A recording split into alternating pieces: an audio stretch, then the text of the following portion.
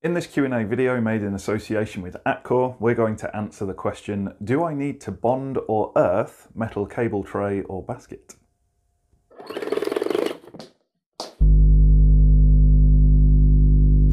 Now before we start the video proper, it's important to point out that this is not a subject that can be given a simple yes or no answer.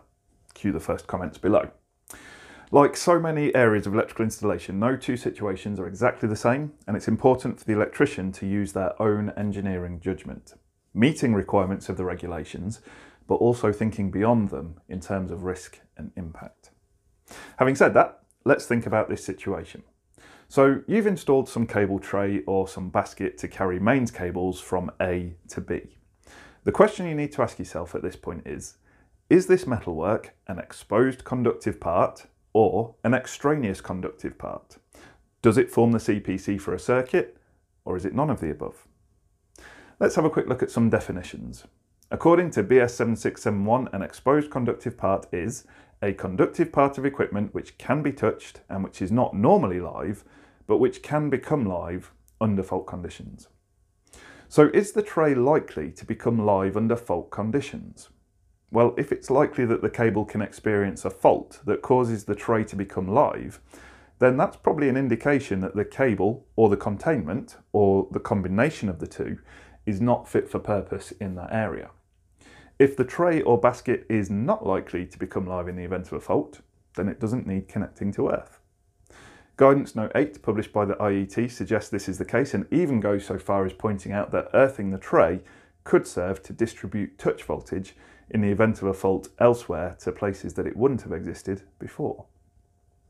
So can it be classed as an extraneous conductive part? Well again, let's look at the definition of this in BS 7671. An extraneous conductive part is a conductive part liable to introduce a potential, generally earth potential, and not forming part of the electrical installation. So let's just overlook the last part of that sentence and focus on the first part. A conductive part liable to introduce a potential, generally earth potential. So an extraneous conductive part is one that is liable to bring an earth potential into the building. In other words, it needs to have a pretty good physical connection to the literal earth that we walk around on. We bond structural steel because it's often buried in the ground, making good contact with the literal earth. We used to bond incoming gas and water pipes because they were metal and buried into the ground, making good contact with the literal earth. We still bond them because we kind of just got into the habit of doing it. We used to bond metal kitchen sinks because we misunderstood bonding. Anyway, the point is that a piece of metalwork that isn't an exposed conductive part in a building generally only needs bonding if it is introducing earth potential into the installation.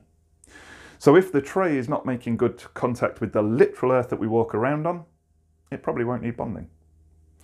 If you're using the containment as the CPC of a circuit, then it is absolutely critical that continuity of the containment is provided between joints and different sections. If you determine that your cable tray is not an exposed conductive part, is not an extraneous conductive part, or does not form the CPC for the circuits on it, then it will not need connecting to earth. Simple.